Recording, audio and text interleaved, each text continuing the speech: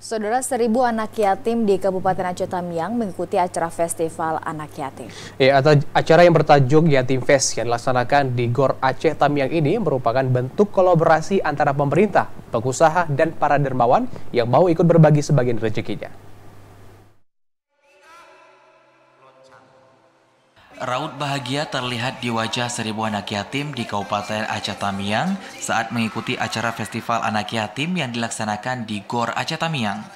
Kegiatan bertajuk Yatim Fest ini tidak hanya sekedar menyantuni anak yatim saja, namun juga diisi dengan tausiah sekaligus penyemangat yang disampaikan motivator Angga Johan Saputra dari The Yatim Village Bogor.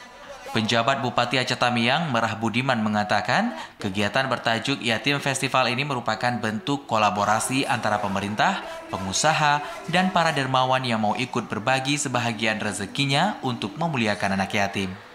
Merah Budiman mengungkapkan di bulan suci Ramadan ini setiap kebaikan yang dilaksanakan akan dilipat gandakan pahalanya oleh Allah Subhanahu wa taala. Salah satunya dengan menyantuni anak yatim dan menghibur para anak yatim. Menurutnya kegiatan ini membuktikan bahwa Islam itu rahmatan lil alamin dan Islam datang penuh cinta dan penuh kepedulian. Oleh karena itu, Merah Budiman mengajak seluruh lapisan masyarakat untuk ikut bersama, berbagi, dan memuliakan anak yatim.